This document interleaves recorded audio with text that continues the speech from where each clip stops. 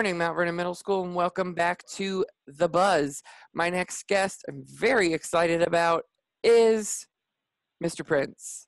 Um, I asked him to come on the show so he could tell you guys a little bit about what he's been up to lately. Uh, as most of you know, or you should know, he is also not just our principal, he is active duty military. And so, ever since we've been working from home, Mr. Prince has been out there doing his other job with the military. So, I'm going to let him tell you just a little bit about what he has been up to. We're going to talk to him, going to ask him some questions. So, Mr. Prince, good morning. Good morning, Mr. Ketterman. How you doing? I'm great. How are you? No, I'm I'm doing very well. I'm very glad to be here this morning to be able to talk to you. Good, thank you. Um, I was just telling the students that you know you've been in the military for a long time now. So, um, what when did you get started? When did you enlist? Okay, so yeah, I uh, I enlisted in 2004. Uh, I was 19 years old. Uh, I originally started as an infantryman and was in a unit down towards Cincinnati. I went to basic training in Fort Benning, Georgia, which is the home of the infantry.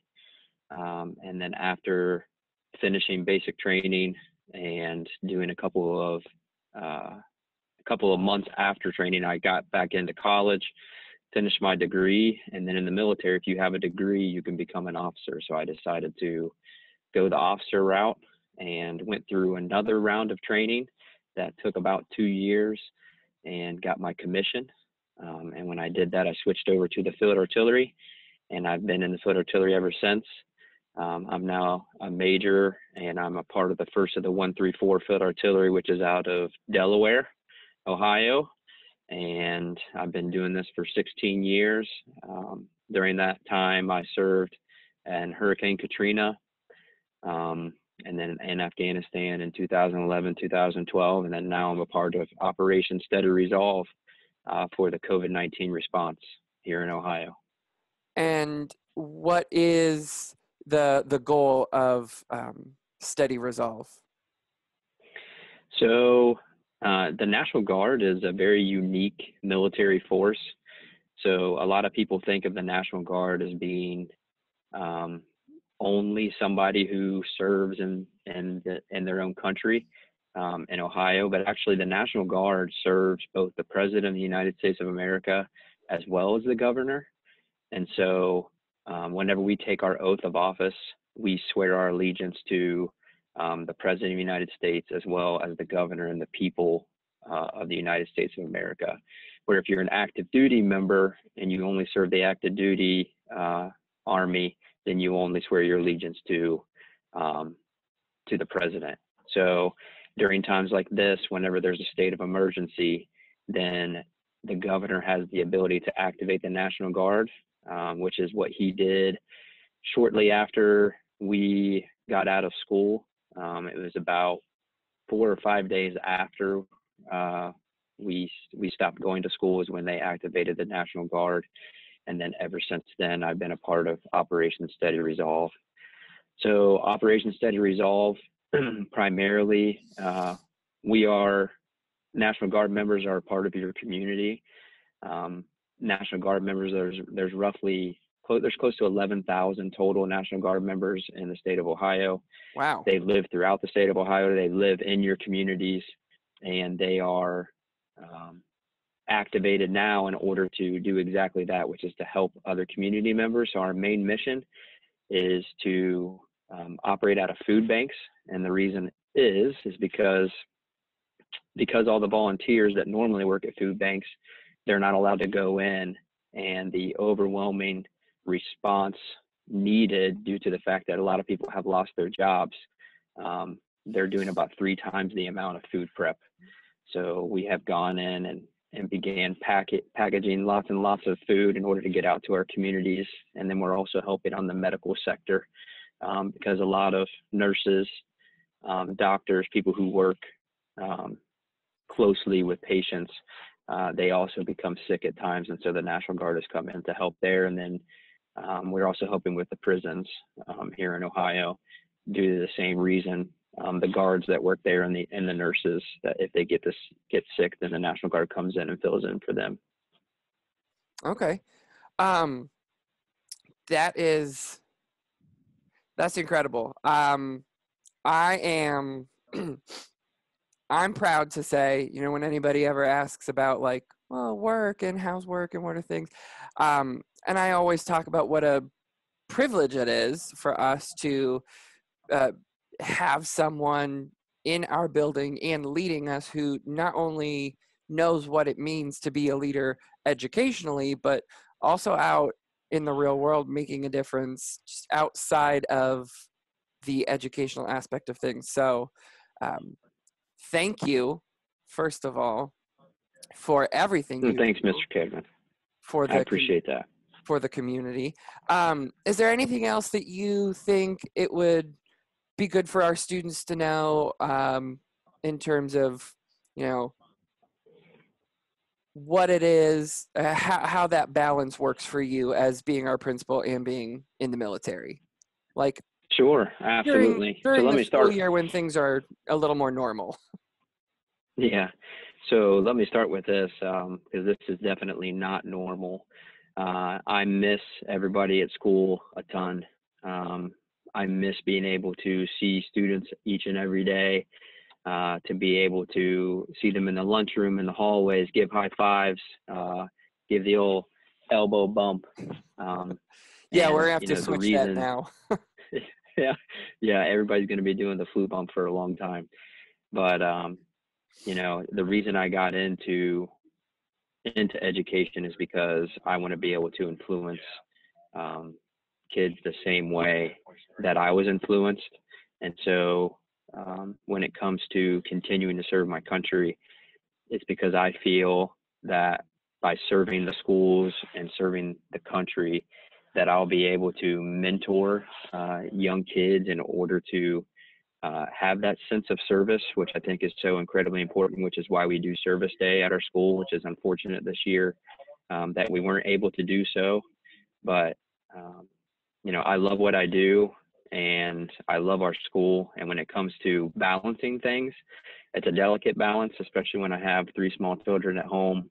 Yeah. And then a thousand, I tell people I have a thousand children at school and I got three small children at home, and I'm not sure which one's more difficult.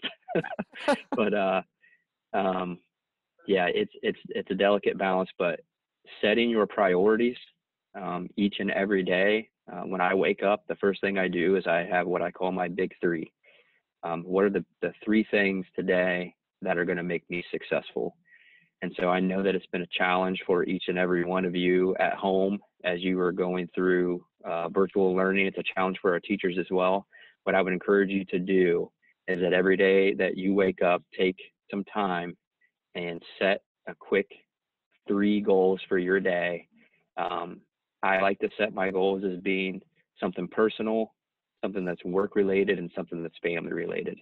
Uh, and if I can meet all three of those goals, I may not be 100% successful all day, but if I can meet those three goals, then then that means I'm heading in the right direction and my arrows are pointed in the right way. So if I can encourage you to do that, each and every one of you should do it that was actually going to be my next question is what is something you could tell us about um, you know discipline and leadership that we could apply to our lives for those of us who who aren't serving uh, took the words and went ahead and answered it anyway so yeah um yeah well go ahead no i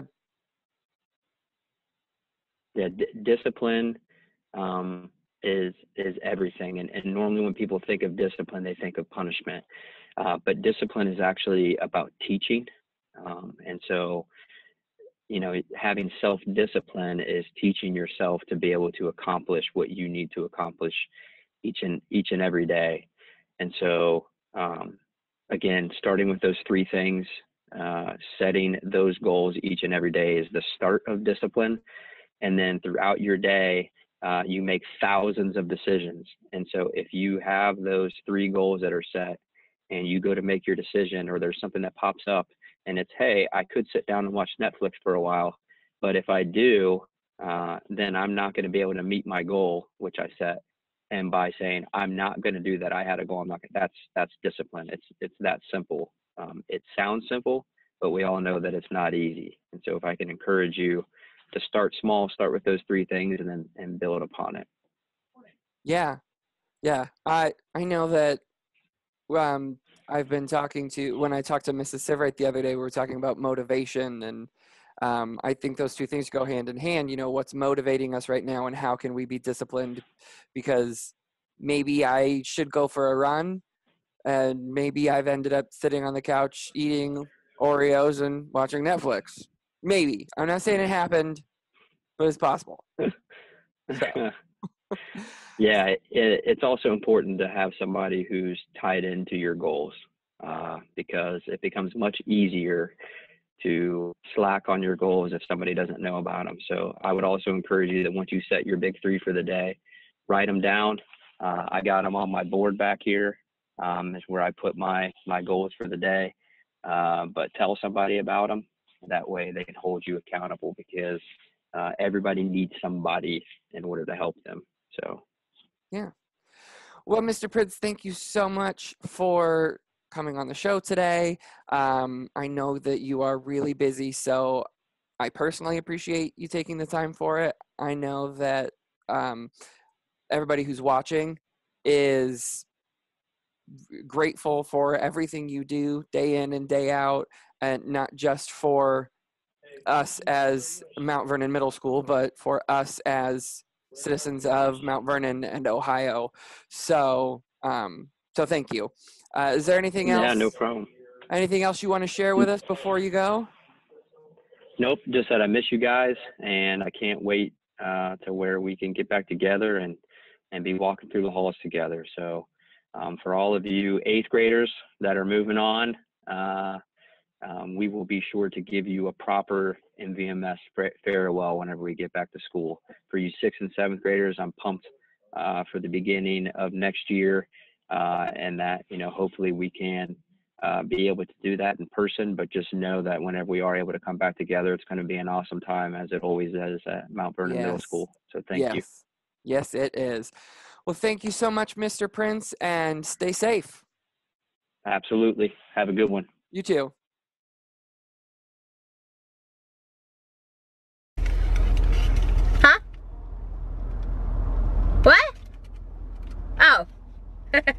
okay. Welcome to my car. I'm in my car, you may wonder, for a specific reason. And that is because we're doing carpool karaoke today. And joining me is Mrs. Smith.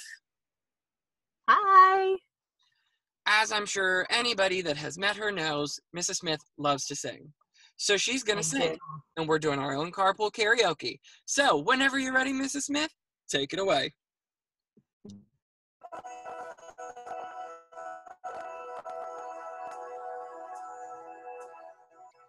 I've been staring at the edge of the water long as I can remember, never really knowing why.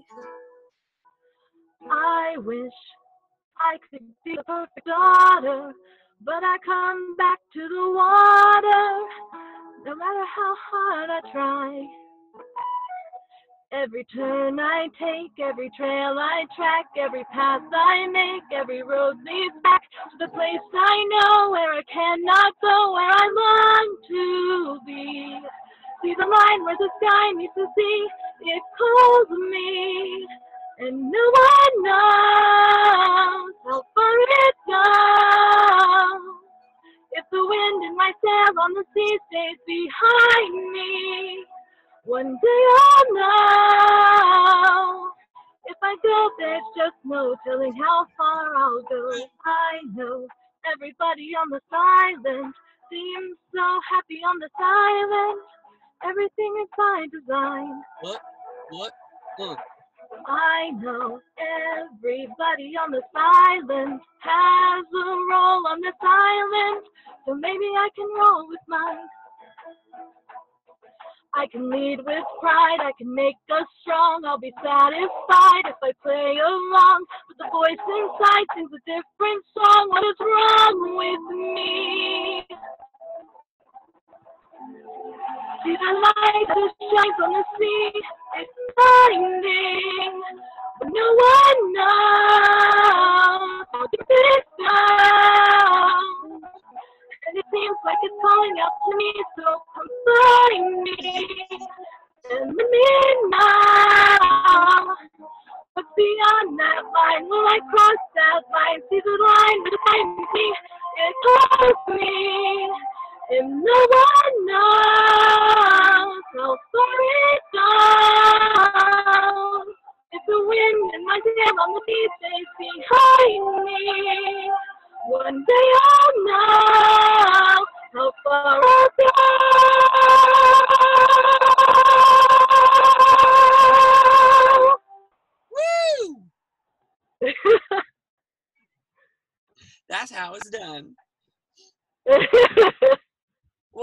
thank you so much for joining Carpool Karaoke, Mrs. Smith.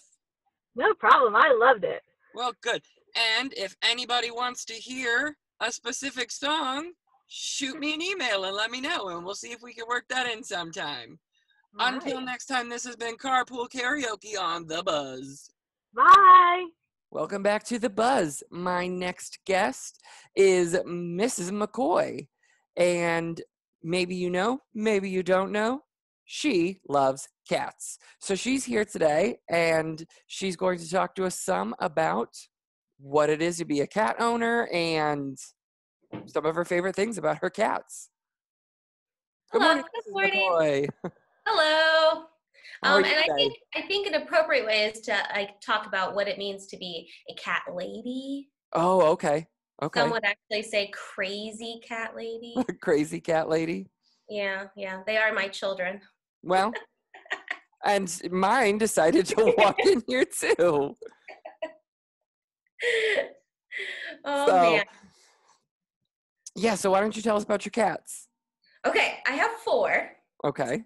I have four cats. Um, it starts with Munster. Munster, Munster. like the M-U- cheese. Yes, and that's exactly how uh, he got his name. So if you don't mind, I'm actually gonna try to pick him up. Yeah, sure. Cats are sometimes cooperative. They're currently swimming around me. One moment. Come here, Munster. Oh. So, this is Munster. Aw, He's a nice 15 pound male. He's That's a big cat. he is a big boy. Uh, so he is orange, and so that's why when we got him, we wanted to go with like a, a cheese. I don't know, like cheddar. sure. I don't know.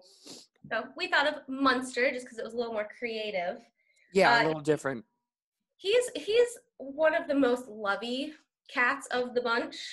He will crawl up and like be helped just like a baby. Wow. He loves it. I had a cat once that would not let me near it. yeah, yeah, he's he's a lovey boy, that's for sure. Um, so I want to say he's probably seven, Okay. seven years old now. So, um, yep, he's he's the only boy besides my husband, but let's know, of the cats. Come on. The only boy Um, cat. Yeah, yeah. Yeah. uh, so then after that comes Zoe. Okay. Um, Zoe, actually, both Munster and Zoe, we both got out of Licking County. We lived in Newark at the time, so we got them from the cat shelter there. Okay. Zoe was the one who, if you are familiar with Shrek, Yeah. um, Puss in Boots, Yeah. giant eyes. So she was still fairly, like, almost borderline kitten adult, and she hadn't fully grown back into her head. So her eyes were big and green. So when we went into the room, like, she just meowed and just had the big eyes of, like, take me home. and you can't say no to that. uh, no. So I'm gonna see if I can grab Zoe just so you can see her. Okay. Oh, oh it's okay, baby girl. Um, she is uh 16 pounds. Wow. Um, yeah, our, our cats are on diets these days. Okay. Well, I mean, Yeah. No. yeah. It's just at the beginning, you know, like let them eat. right. Well, at, at the beginning, the first two had some portion control problems. Well, and I know a lot of people's hobby right now is eating. Yeah, Me. it's a danger. it's like, what should I do? I guess I'll go eat. What else I can find? Yeah, know. so I get that. Your cats, your cats and I have that in common. I'm bored. I just want to sleep and eat. Why, Why not? Yeah, uh, Zoe is. Um, I am her favorite. Okay. I could say that. I'm not supposed to have favorites, but she's kind of, she's kind of my favorite. I get it. I get it. She's a mama's girl. She's a scaredy cat. Oh. Anytime the doorbell rings or anyone comes over, she like darts, hides under the bed.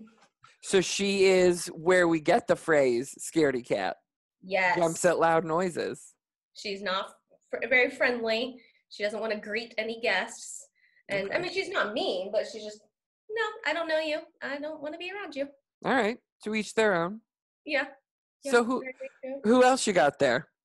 Um, I got a Lexi and an Aria. Okay. So Zoe, that was her name originally. Um, Lexi and Aria. I got, I got, we got Lexi over the summer, and a little guilty pleasure of mine that summer was to watch Vampire Diaries. Okay. So Lexi is a character from Vampire Diaries. My husband hates it, knowing like that's where we found her name, but it is.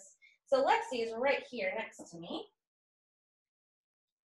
She was a little runt of the bunch. She's a calico.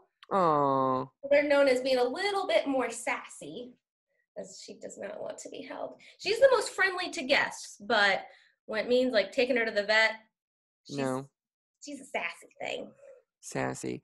Wasn't there a movie with a cat named Sassy? Yes, Homeward Bound. Oh Homeward yeah, Bound. and So, um, for those of you who don't know, which was probably a lot of you, there was a movie in the early '90s, so a long time ago, and there was um, it's about these three pets that get lost: two dogs and a cat, and the cat's name is Sassy. Uh, it's probably on Disney Plus. So if you have Disney Plus, you could go watch Homeward yeah, Bound. I bet it is. And the cat, um, I think if I remember right, that cat in that movie looks a lot like Mrs. DeBolt's cat. yes. Um, I forget what breed of cat that is. Yeah, I don't know. They're it's more of a long hair. My cats are all, I mean, mutts, if you will. But yeah, I think it, it- that cat looks a lot like Mrs. DeBolt's cat. Yeah. More of the Yeah. longer hair type Yeah. thing. Um, Okay, so then you said you have Aria. yeah. So Aria again, um, another guilty pleasure show called Pretty Little Liars. I am a Okay. teenage girl when it comes to my TV choices. No judgment.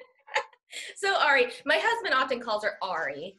Okay. That's the reason why that go going. Oh, now Zoe wants out. But let me at least show you Aria. Come here, baby girl. Ooh.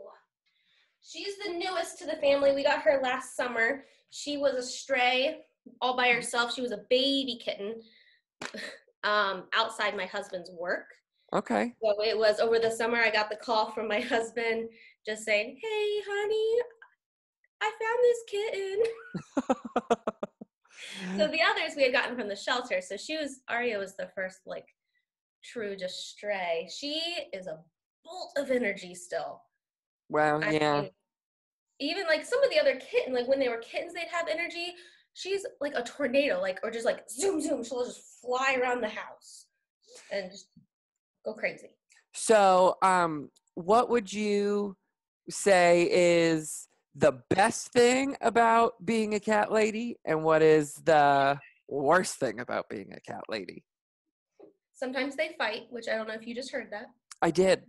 Sometimes they fight, just like you know anyone. else. Siblings. Yep, yep. And that was the sassy one. I told you she's a little sassy. Mm. Um, Is she the boss? Like, does she tell the other three what to do?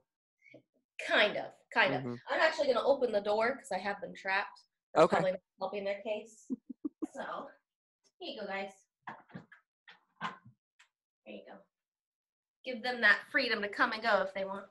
Um, the best thing for me, though, I think is I, I've I've had good experiences with cats, and I've heard that's not always the case. Yeah. But I mean, like they all at some point in time want love, like you would get from a dog. Like, I mean, dogs are super lovey, but cats are still willing to give you that love.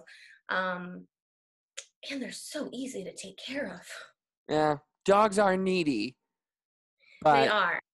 I think that's one of the things a lot of people like about dogs is, you know, oh, here's this creature that that just he needs me. Cats make we go on walks or something, and like we hear like the yippity dogs barking at us, yip yip yip yip, and I'm like, ooh, our cats are so much quieter. Yeah, yeah. Um, I have an old grumpy dog who was a guest yesterday in the Game of Smells. Um, yeah, that was that was a thing. Um, so he used to be really yippy, but he's old now, so now he's just kind of like, go away. He relaxed. he's probably the most cat-like dog I've ever met. Oh, okay. Oh, was there anything else you want to tell us about cats or your love of them or? Um, a fun little bit. My my female cats, the three, they love going outside. mm-hmm. I am one of those weird people that puts my cats on a leash. I've always thought that that makes sense. They just hang out in my backyard. They don't want to go very far. They just like chilling in the grass, soaking up the sun, just like you know you or I would. Yeah. So I don't know. They're cool. All right. That's them. That's my my family. All right. Well, thank you so much for coming on the show today and sharing with us. Oh yes. So, anyway, if you have any questions about cats or cat ownership, you can shoot me an email and I will field those to Mrs. McCoy for you. And yeah, that's cats. so, so thanks so much for coming on today. You're welcome. Have a good day. See ya. Bye. Thanks for joining us. That's all we have for today for the buzz. Before we go, a couple of shout outs. Mrs. Sivright wanted to give a shout out to Michael, Jake, Peyton, and Katie because they won Gimkit today. Miracle wanted to give a shout out to her friend Lily. And Braden wanted everybody to know that the best way to start a house of cards is to do it on a carpeted surface. So give that a shot. Don't forget to email me your pictures of your house of cards. If you want to do some shout outs, title them the Buzz shout outs. That way they all go to the same place and I don't lose them. Jay Ketterman at mvcsd.us. Have a good day. See you tomorrow.